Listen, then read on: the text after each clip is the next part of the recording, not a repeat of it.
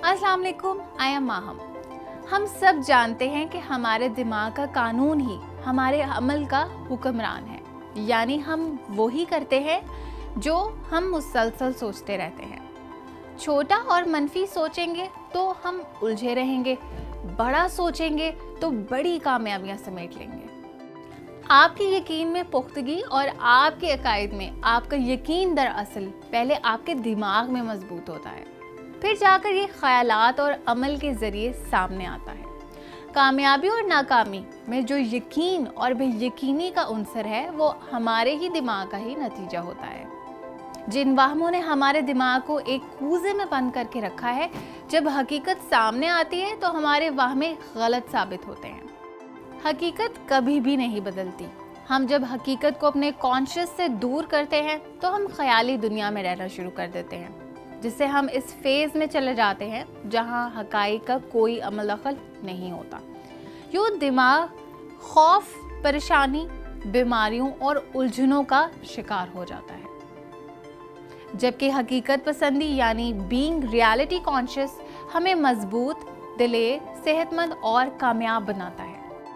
मुस्बत यकीन के साथ दुआ का नतीजा हमारी ज़िंदगी में मुस्बत असरात पैदा करता है।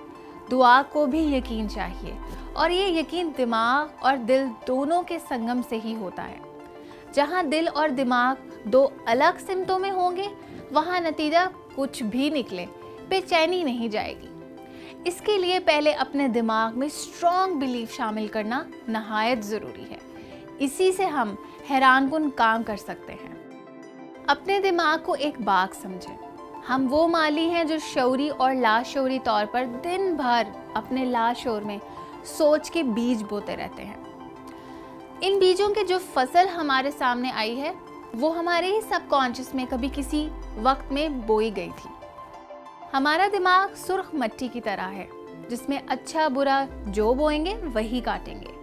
अक का बीज बोकर आम हासिल करने जैसा नहीं सोच सकते। हम जो नतज चाहते हैं हमें उसी के बीज अपने दिमाग में बोना होंगे। कामयाब लोग भी यही करते हैं कि वो हकीकत पर मबनी, मुस्बत और बड़ा सोचते हैं। ये दुनिया तुम्हारी भी है, ये सूरज तुम्हारे लिए भी चमकता है। इस कायनात के तमाम असबाब तुम्हें भी सर्व करते हैं। हर अपॉर्चुनिटी तुम्हारे लिए भी है, ज़िंदगी तुमने भी जीनी है। तुम्हें बस एक काम करना है। इस दुनिया से अपना हिस्सा लेना है। हिम्मत और पूरे वकार के साथ।